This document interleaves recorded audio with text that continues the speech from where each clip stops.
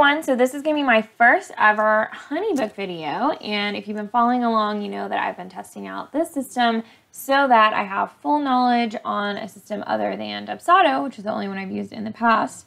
Um, and I'll be doing some videos to show you the interface here, as well as pro and con tutorials, uh, blog posts, etc. over the next couple months. So keep an eye out for those. Uh, but one thing that I've really enjoyed about HoneyBook is the proposal building stage and the overall look of the proposals. So I'm going to show you how to build one of those today. And if this is your first time looking at HoneyBook, I'll try and give you kind of an overview of the interface as well. Um, and if you use my link, which is below, you can get 50% off whether you just want to do your seven day free trial, um, try it out for a month, or purchase for a longer period of time. You can get 50% off using that link. So let's go ahead and get started. Okay, so your homepage kind of looks like this. It'll tell you what's going on. I don't have 100% of this set up, so it's kind of looking a little blank. But in the future, once I get everything fully set, you'll have all of this stuff up here. Um, so we're going to start out in Tools Templates. And this is basically, if you are familiar with Dubsado, just their same templates, forms section. Um, and we're actually going to start with packages. So if you click here, it's very similar um, to what you think it's going to be, or if you've used a different system, it's very similar to anything I've used in the past. Um, what I do love here, so we have this three-piece suite, and what we've done is we have the full price here at the top, and then we actually have everything that's included in line items below that we can very easily change. So this is a set package. I love that you can add photos. Um, I haven't done that here yet, but I think it's a really cool feature.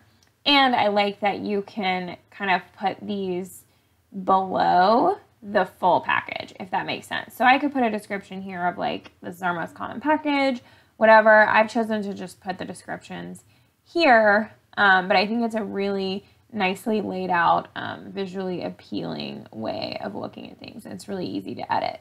So then what it looks like um, if you just have a single field, it just looks like this. Um, it's nothing too crazy, and then you just click if you want tax or not. And then a larger package that's got items under it will look, look like this. Okay, so once you've done all of your packages, and the great thing about HoneyBook is they'll set it all up for you. So if you send them your price list, um, I actually did not have to build any of these packages really. I think I built this one afterward, but all of the other individual ones were already built for me. So once you have the packages that you want, you can go over here to this proposal and create a template here. So we've pretty much just got this three-piece one built out because it's our most common one um, and the one we've been sending out a lot lately. Okay, so when you're building a template, like if you just click, you know, add template, you'll get this. You can change the title. Um, I'll just do new three-piece.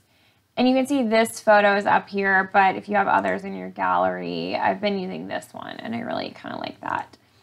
Um, and I like that you can just kind of go back and forth with all the different ones. So we'll just add a new item here. And we're actually just going to use this three-piece suite one because it's our most common one. So this is just a proposal template. And you can add anything else you want here. Um, like one thing that we might add on here is our envelope liners because that's a really common upgrade. So maybe we'll add 100 here and maybe something else like a belly band. We'll throw in 100 of those because those are really common things that we put on a lot of our proposals. Most likely, um, I'm just going to stick with this on the proposal and then add those based on what the client is looking for. But I kind of like how this is laid out because I think visually it makes a lot of sense that all of this is together. These items are under the three piece suite and these are like upgrades. So I think um, it's a great visual representation of how everything falls for your client as opposed to having them all listed one after the other because then they're like, oh, you know, what do we need? What do we not need, etc. And I still like to itemize everything. If you didn't want to itemize everything, that's totally fine too. Um, you could just have this one at the top and put the full price. And then you could put right here what's included, but just put $0 as the price there. So you could have it listed kind of like this, but with zero price, with zero dollars so they don't see the price per item. I still do because a lot of people ask like specifically what's included and some people like to switch out um, like the calligraphy address, this is technically an add-on because we have printed guest address here and we already have like a dollar accounted for in there. So if they want to get rid of the guest address in calligraphy, which a lot of people do, that's really easy to do without getting rid of all this other stuff too. Um, so I love how this is laid out. And then once you're happy with your template and whatever's on it, um, let's see, I'm going to just delete belly bands and leave envelope liners because we do that almost always.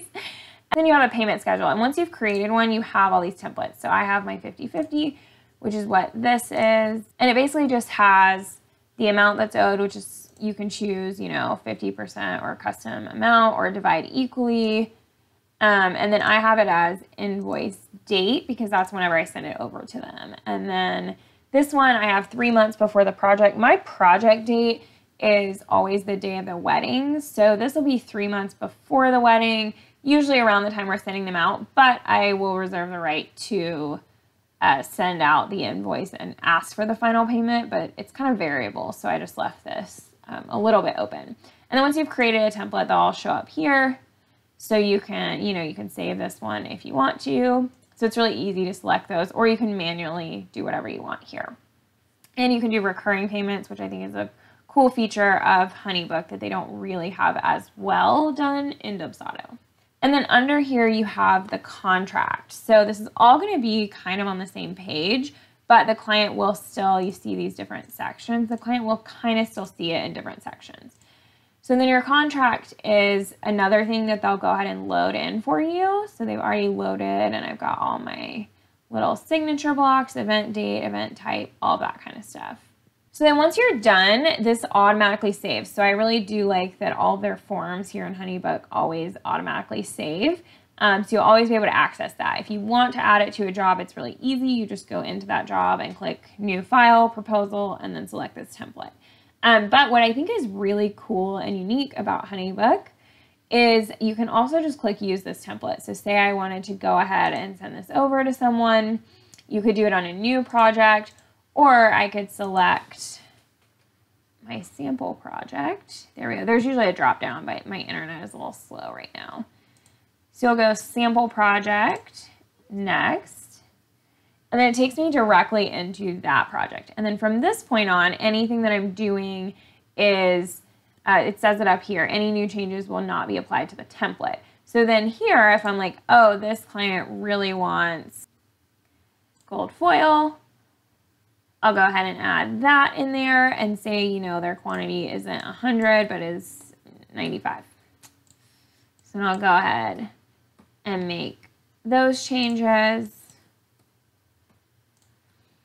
And then you're ready to go. And that's super easy. And it's already changed everything on the payment schedule. Contract is all the same. Okay, and when I was doing that template, I didn't change my contract. So it just kept the same one. So I'm going to go ahead and change this to the invitation design contract, and then we'll go to client view.